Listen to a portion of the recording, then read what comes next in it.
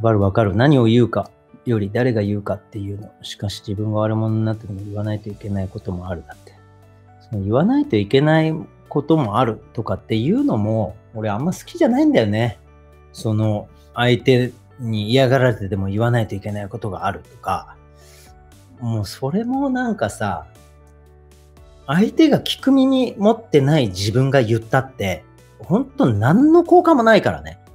あの、相手に言わなきゃいけないことがあるんだったら、まずは相手に言って、相手が聞きたい自分になるっていうことのが先だからね。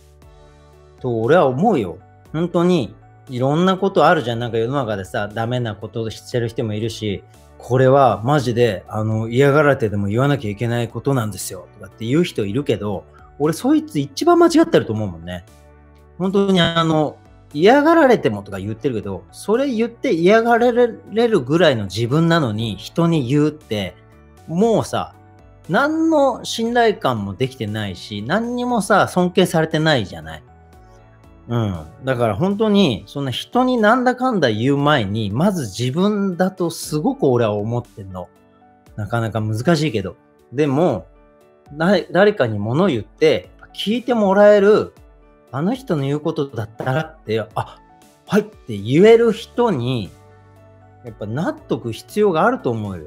そうじゃなかったら、そうじゃない奴が言う誰かに対するダメ出しなんて、おめえもじゃねえかよって絶対思われてるから。うん。で、それを言っちゃう。いや、こいつにはやっぱ言わなきゃいけないんだよっていうやつほどできてなかったりするから。そういうのがね、俺あんまり好きじゃないんだよね。まあ人それぞれだから言いたかったら言いやいいけど、それを、うん、なんかあんまりいいこと起きないと思うよ、俺は。